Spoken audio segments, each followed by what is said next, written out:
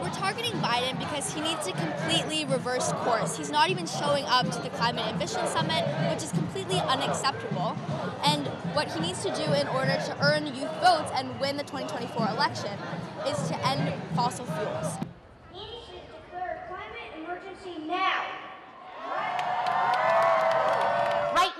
United States continues to be approving record number of fossil fuel leases. And we must send the message right here, today, right now, that that has got to end.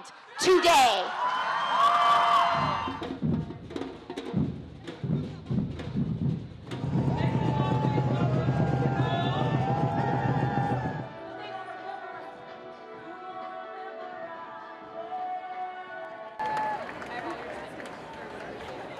Putting us